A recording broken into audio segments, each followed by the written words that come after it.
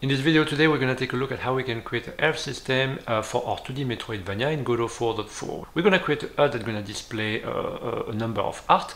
We're going to make sure that we can lose uh, uh, one art and display it and then we're going to also damage the player when he's going to enter into the collision uh, hitbox of the enemy. Uh, this is an important episode because I'm doing this one and then after that I'm going to show you how I can kill the, the, the, the player and display the animation and those kind of thing for the game. And then I will show you how to create a soul system very similar to what you have in Hollow Knight. So when you slash an enemy you are, are, like globally charging a little bar. And then after that you can use to refilling your number of life. Uh, so this is a very important episode so make sure that you follow it because it's going to be important for the rest of the of the series. If you like the channel but please like and subscribe. And if you want to support me I put a list of my course in the uh, description of this video. Right now I'm updating the uh, procedurally generated roguelite. Uh, it's gonna be soon finished finally. It's been like uh, quite some months now I'm working on it, uh, but I'm almost almost done. I have like six videos left to record, so that's gonna be good. So anyway, let's get started. So for having our player uh, getting damage, we need to have a health system. So that's what we're going to start to create. So I can't remember if we have created a global script yet. No, we didn't. So uh, here, uh, what I'm going to do is I'm going to go to script, I'm going to go to file, and I'm going to go to new script. Uh, that new script going to inherit a node 2D. So you click, I'm going to re-show you, you click on that button right here, and you're going to be able to choose to choose the node that it is inheriting from. So here it's going to be node 2D. Uh, and uh, that new script, I'm going to call it globals. Globals. I'm gonna put it in its own folder, so I think I'm gonna put it into um, probably UI. I'm gonna put it there, and I'm gonna click on uh, the folder for creating a script uh, folder, and I'm gonna save it right there. I think that's the, the, best way to do it. Uh, so here, what I want to do is I just want to create a variable that I'm gonna call health health and I'm going to set it to be equal to 4. That's it. So now uh, what I want is I want that script to be uh, reachable by all the script around. So for that, what we need to do is we need to go to project, project setting, and here we go to uh, globals, and here we're gonna take a look at where our uh, script is located. So for me, it's in UI and script, and we take globals, and we put it here and we add. And because here it is enabled, now that's the class that we're going to be able to access from all the script around. So now that this is done, uh, what we can do is uh, we can start to uh, globally create what's going to show the number of lives that we have. So for that, we need to create a GUI. So I go back to, to the here, I go back to my level one here, and I'm going to click on the plus, and I'm going to look for a node that is called a Canva layer. That Canva layer is a, is a, is a node that is um, loading data in an, over, in an overlay. So globally, what it means is that you uh, you always have an overlay of uh, things to display that are uh, not related to the position of the player. So it doesn't move with the player, those kind of things, which is good. That's what we need. So that uh, Canva layer, I'm going to rename it GUI like this, and I'm going to attach to it a sprite 2D. Sprite 2D.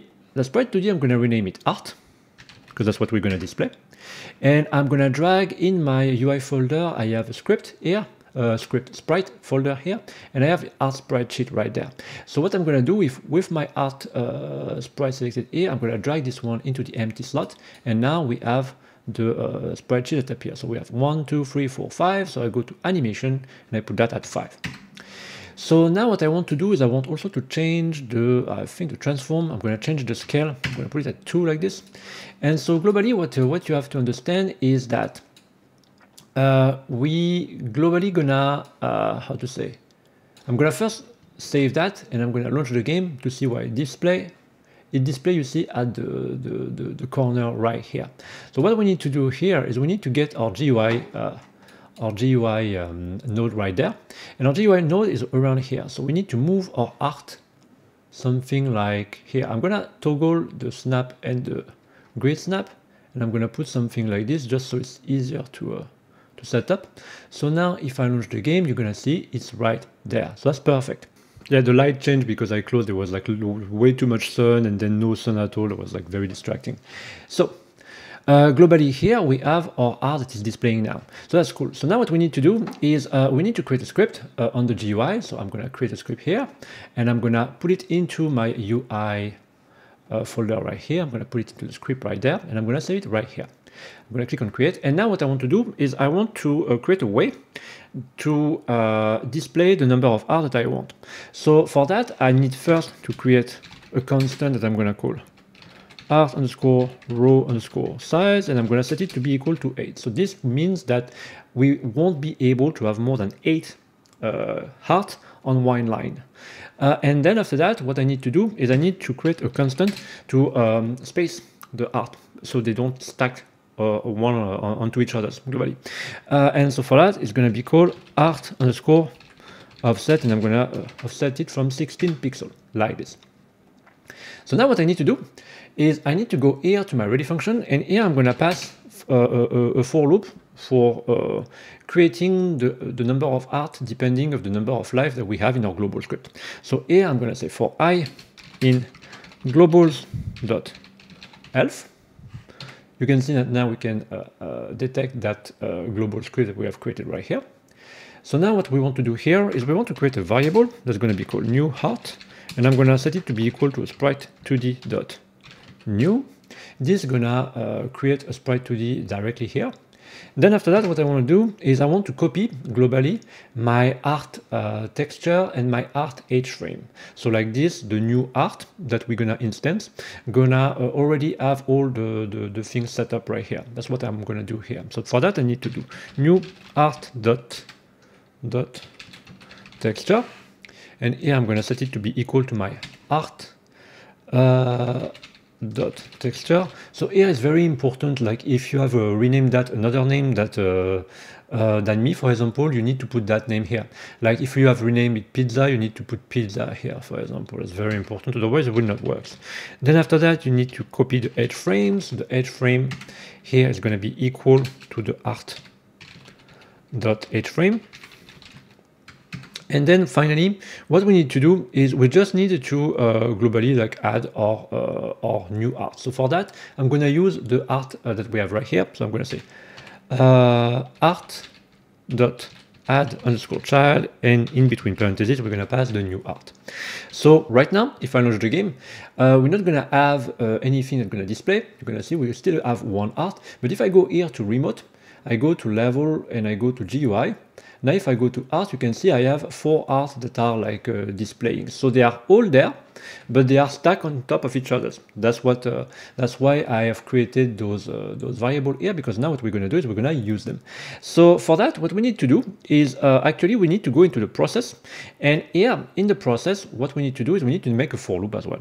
So here I'm going to say for uh, art in uh, art.getChildren art.art art dot get underscore children. So here we're gonna loop through all the uh, children that art has uh, instance. So all the new art that we have created right here.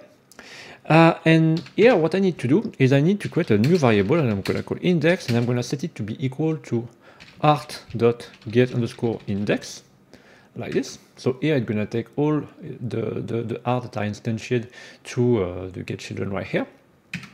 Then we need to create uh, we need to create some little calculation to be able to use our constants so it space things right.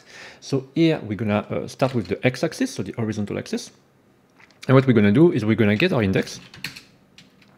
We're gonna uh, use the modulo sign and we're gonna get our art row size and we're gonna multiply it by uh, the art offset. Yeah, art uh, art offset like this.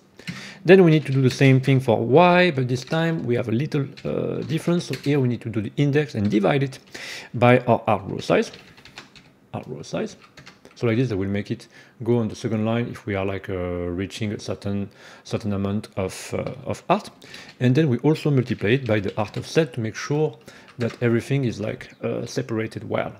And then what we need to do is we need to uh, set our art dot position to be equal to our vector 2 with the x and y that are uh, set up. So now let's have a look. Now we have or uh, four R that are spaced right there. And if I want to space them a little bit more, for example, I can do something like this. I can do like, uh, I'm gonna do 20. And here it's gonna space them a bit more, you see? So that's the logic of it. I think 16 is all right, but this is up to you, like uh, you do your thing. Uh, so now what we need to do is we need to assign the uh, right uh, element uh, of the art sprite sheet to display according if we have a life or if we lose a life. So for that, what we need to do is we need to continue our loop. And here we need to create a new variable that I'm going to call last underscore art. And that last art, I'm going to set it to be equal to floor, and I'm going to pass my globals dot elf. If you've never used uh, floor before, floor is uh, a way to make sure that uh, you round, uh, you always round a number if it's uh, if it's a decimal.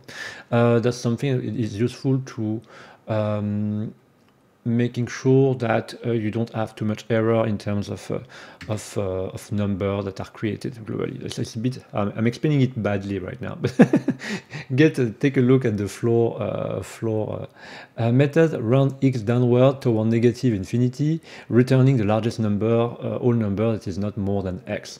So globally, like you can see, var a equal floor 2.99. A is 2, but if floor is minus 2.99, a is minus 3.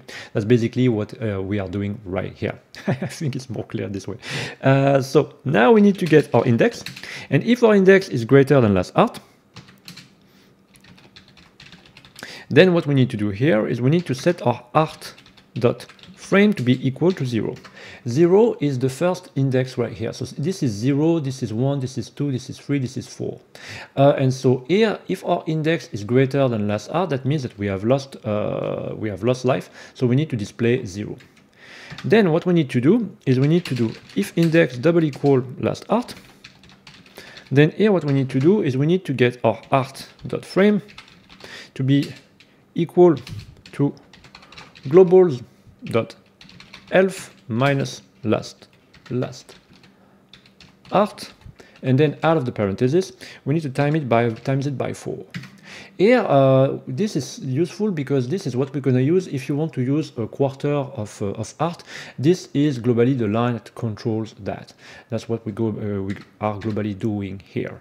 And then what we need to do is we need to uh, get our index. So if index this time is smaller than last part, then what we need to do here is we need to get our art.frame to be equal to 4. So here we are displaying a full heart. So with that done, now if I launch the game, we're going to have four red heart. So now we need to lose uh, one heart. So what I'm going to do is I'm going to go back to my uh, enemy here, and I'm going to make sure when he detects the player that he can uh, remove one life. So for that, we need to go back to our uh, Tiktik. Where is it?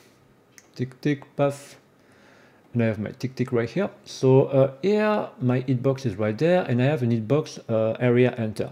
So here this is detecting the swirl, but I want also to detect the player.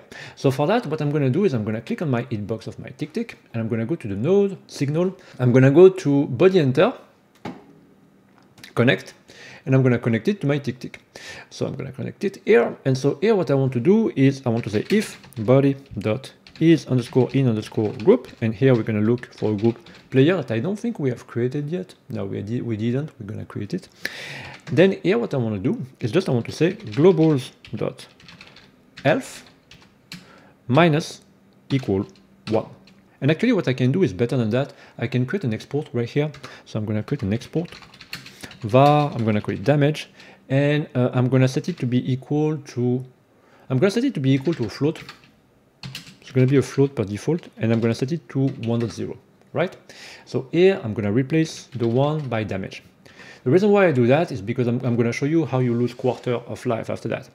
Uh, so now we just need to make sure that we can collide. So the hitbox collide with is on 3 and it collides with 2, but we also need to make sure that it collides with 1. So at least it can collide with the player. And we need to go to the player. We need to go here on the player itself. We need to go to node, group, and here we click on the plus and we're going to create the group player. So now my player is in that group. So, and you can see we have a little uh, little square right here that is showing.